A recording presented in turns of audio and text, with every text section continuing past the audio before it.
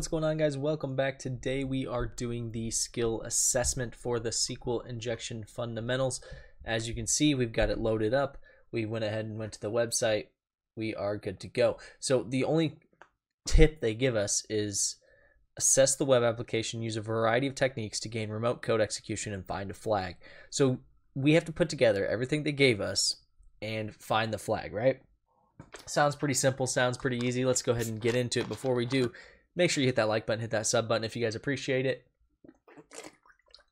Because I appreciate you guys. And also, this video is coming out today, but I will be posting, um, I'm not sure when, because I'll have to edit the video, but um, I will be posting all of the videos together if you want to walk through and do the entire thing. So it'll just be all the YouTube videos. I'll cut the intro off and put them all in one transition. So, all right, let's go ahead and get into it. So here we go. So first thing, we see the username, we see a password.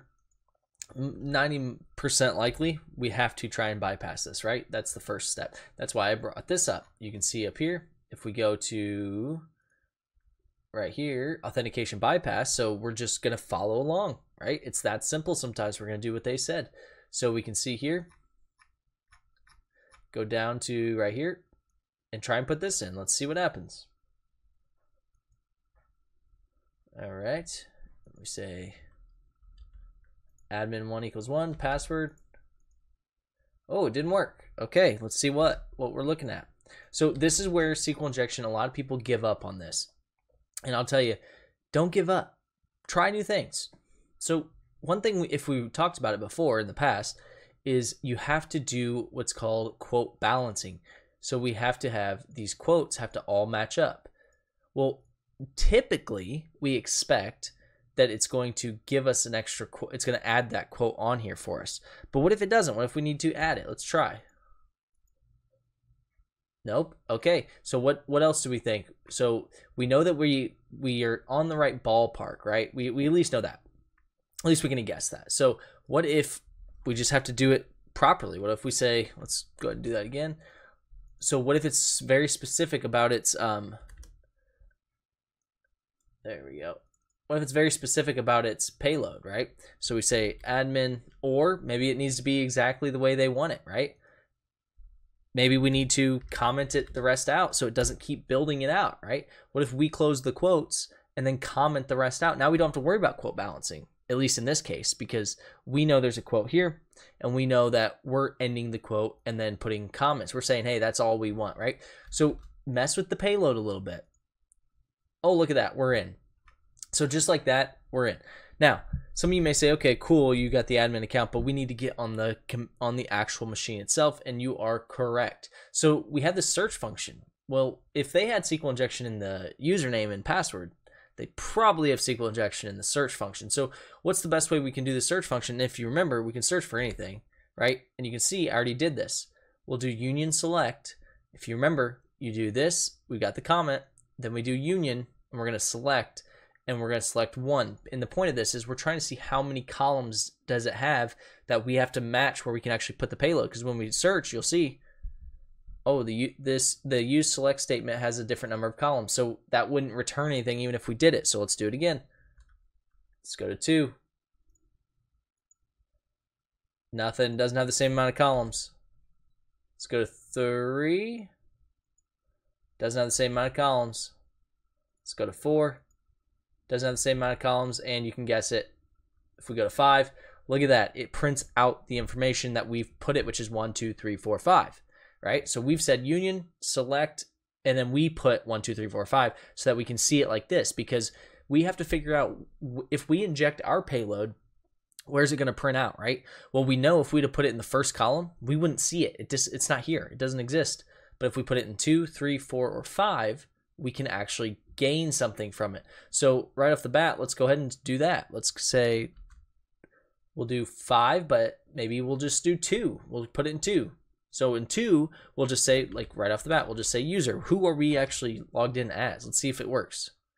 Oh, look at that. We're root. So right off the bat, we are root, which means, okay, we're, we're in pretty good case. Now, if you read the bot, read the um, TryHackMe module and you go through, the next step it says is check permissions and all of that stuff. You guys can feel free to do that. If you get root on a machine, or if you're using root, yes, I understand that it doesn't. It, I'll say this: I understand that it doesn't always mean that you're going to get whatever you want. But I'm not going to go through and check the permissions. If I have root, I'm going to try and go to the next step, which is we're going to try and manipulate files and things like that on here. So first thing we're to do, add that payload back. Right? We got to keep editing it. So I want to keep using the this two field. You can use whatever field you feel confident about. You can use, as you can see, two, three, four, five, whatever field you want. I'm going to keep using two. And what we're going to do now is we're actually going to start pulling what tables we need, right? Because if you remember, we can go back to it here. Let me pull it back up. Right here, if we go back to, you can see, do, do, do, do, where was it? I think it was the last one we just did. Database enumeration right here. We need to start pulling files from it, right? So we need to see, we've got this, the union statement but what is the schema name? Let's go straight for that, right? We don't have to use the, uh, so we'll do this union. Uh, boo, boo, boo, so we've got the union select. We'll just get rid of all this, paste that in there, and we're going to ask the schema schemata information for the, and you can see I have D in here, and you got to put that comma in there. All right, so we're going to ask it for the schema names. All right, looks like it has a different number of columns, probably because I didn't edit it, right? So that only has four. We have five. So make sure you edit it before you do it. So one, two, three, four, and five. Did I put a period? Hopefully I didn't. I might have put a period in there. Um, okay. So different number of columns there it says as well. So we have union select one, schema name is two, then three, then four, then comma five. Okay, I think I put a period in the first one, if I'm being honest, which if I did, I apologize. So, all right. Should be good. There we go.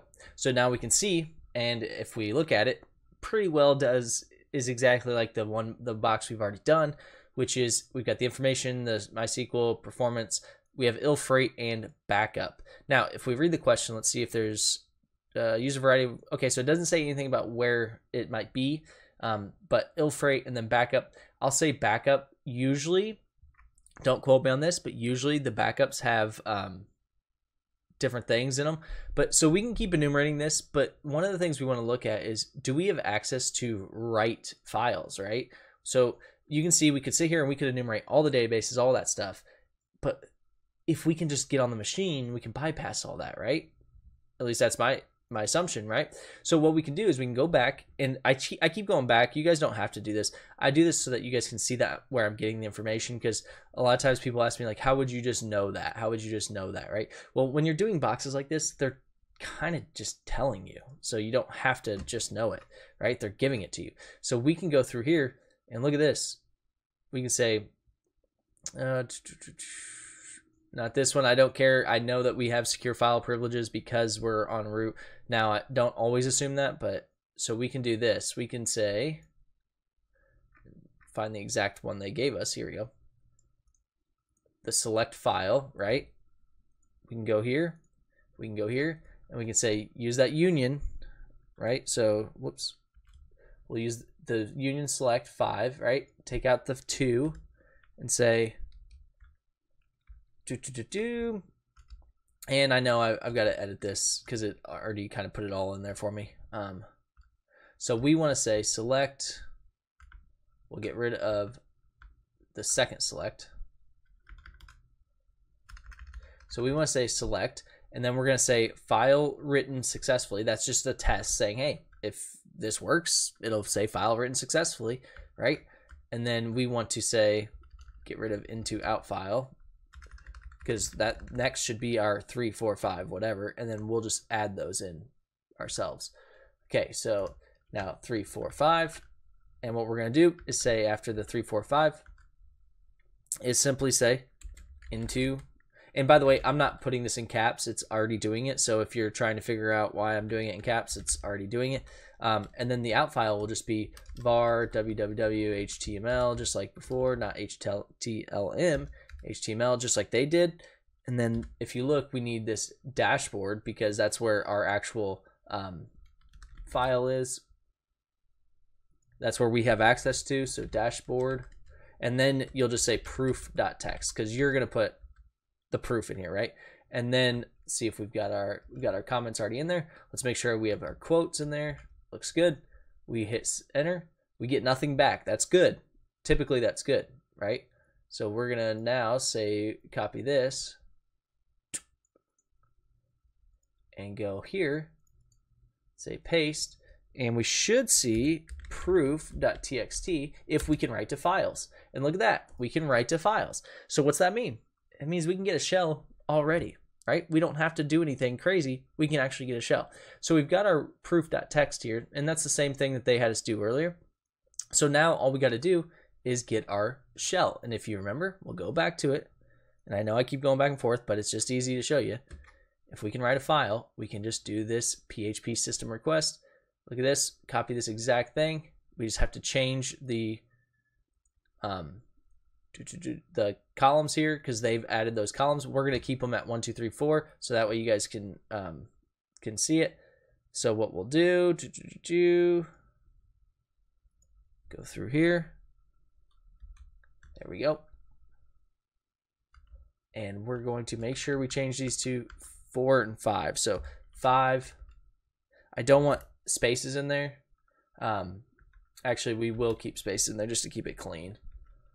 So what we'll do, just just to keep it clean, we'll keep spaces in there. But we do have to add that fifth column. If you don't add a fifth column, then it's not going to work. Okay, should be good. And we named it shell.php. Uh, looks like can't write to file var HTML. That's because we're not, that's the wrong path, right? If you remember, we need an HTML dashboard. Dashboard shell.php.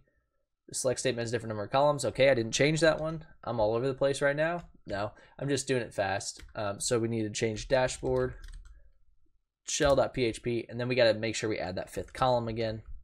If we don't add that fifth column, it doesn't work. Okay, so there we go. Okay, we get nothing back. That's what we should get. Now when we go here to dashboard and we say shell.php, right? What we should get is we should actually put something in where the zero is. If you remember that zero, it's requesting zero. You, if you guys don't remember that, go back to the last video. The last video is where I did it. And then we're just going to say, hey, what do we want to request? And we can change it to whatever we want. You can see that if we go to here and you look, request zero, all we have to do is say blank zero equals whatever. And we can make it anything we want. So we're going to say here, shell.php, and then we can say zero equals, and in this case, we'll just say ls for now, but it doesn't really matter.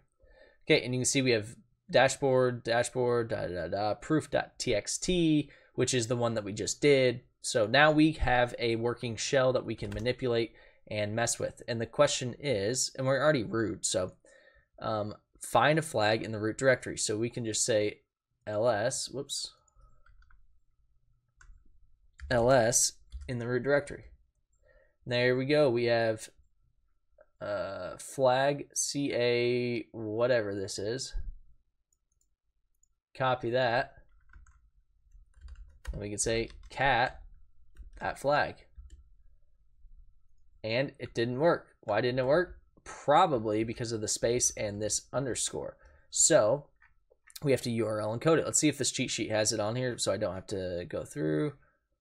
Do, do, do, do. Nope. Okay. It doesn't have it on there. That's fine. What we'll do is we'll take this right here,